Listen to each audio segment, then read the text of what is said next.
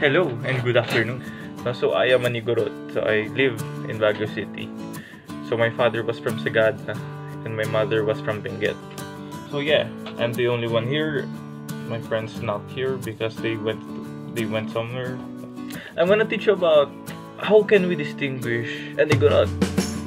So number one things is about their outfit. Normally, um, male Igorots, they commonly wear jeans, jacket jeans.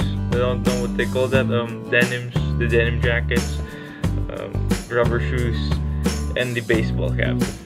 The older ones, they kinda mimic the looks of a cowboy. If you know what I'm saying. Okay, so I'm gonna flash the photo right here. Those are the commonly used fashion of Igorots here in Baguio City by the males. Issue number two, the taste of music.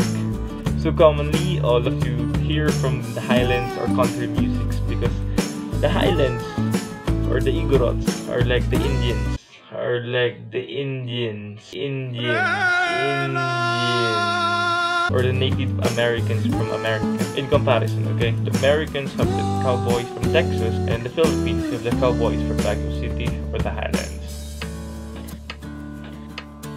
So even the local musics, you would hear it like like country music stylishy, you know?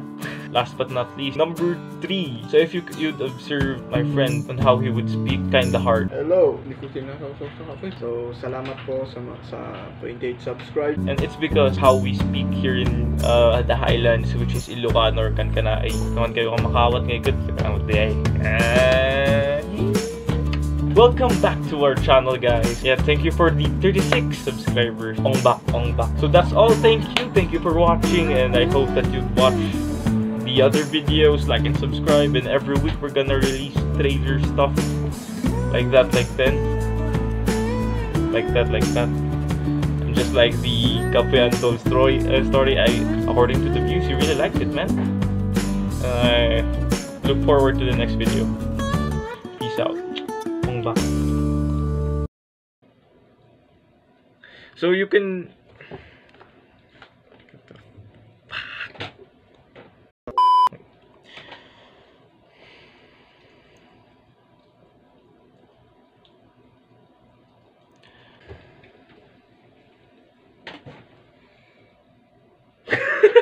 Ong bak.